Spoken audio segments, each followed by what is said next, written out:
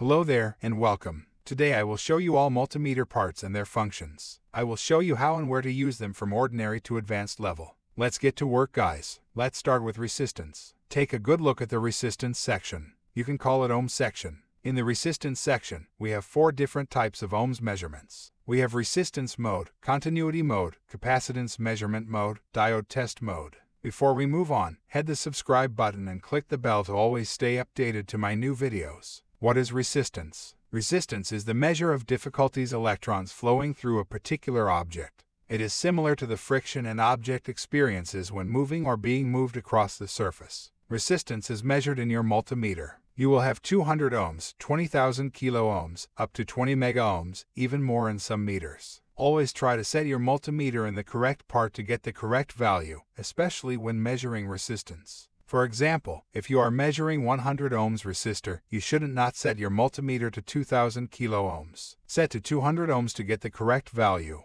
If the resistor, if more than 200 ohms, you can should set your multimeter 1000 kilo. Some multimeters don't have 1000 kilo ohms written on them. If so, then set it to 2000 kilos ohm. What is continuity test mode? Continuity is the presence of a complete path for current flow. The circuit is complete when its switch is closed. Their digital multimeters continuity test mode can be used to test switches, fuses, electrical connections, conductors, and other components. That resistance is determined by the range setting of the multimeter. Take a look at the continuity symbol, capacitance mode testing.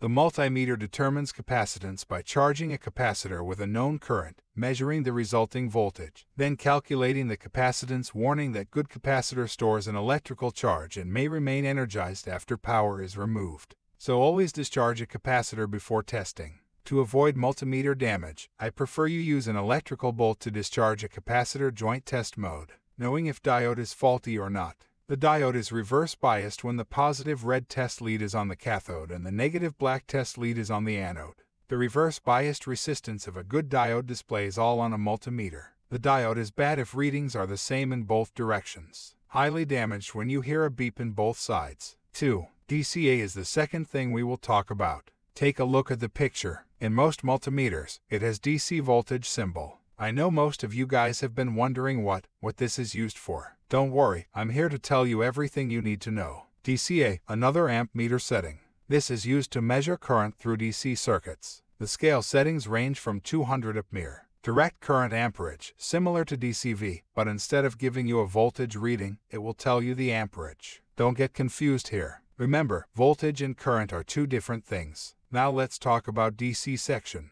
Direct current range. Surely you know all about that. I guess you use it all day. DC range section is used for measuring direct current. For example, you want to measure the amount of voltage in your phone battery. Set the multimeter to 20 volts in the DC range. The DC voltage range has a V with a straight line next to it.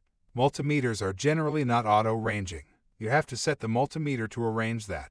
It can measure, for example, 2 volts measures voltages up to the 20 volts. For example, measure 2 to 20V in 20V range, 21V to 200V in 200V range. Set your multimeter range according to the amount of voltage, same as current, just like that. Let's take about an AC range. This stands for alternating current AC. Notes that the voltage in an AC circuit is usually referred to as AC voltage, even though it sounds strange to say alternating current voltage. You'll use these settings when you are measuring a circuit with alternating current or voltage. Set your multimeter range according to the amount of voltage, same as current, just like that. Now let's talk about HFE. This range is hardly in use though, but you should know the function. HFE is an abbreviation and it stands for Hybrid Parameter Forward Current Gain, Common Emitter, and is a measure of the DC gain of a junction transistor. So on a multimeter it indicates a mode where the meter can measure, probably crudely the HFE of a transistor. That's all I have to share this time. Thank you guys for your support. Thanks for watching. Subscribe and click bell so you won't miss my next video.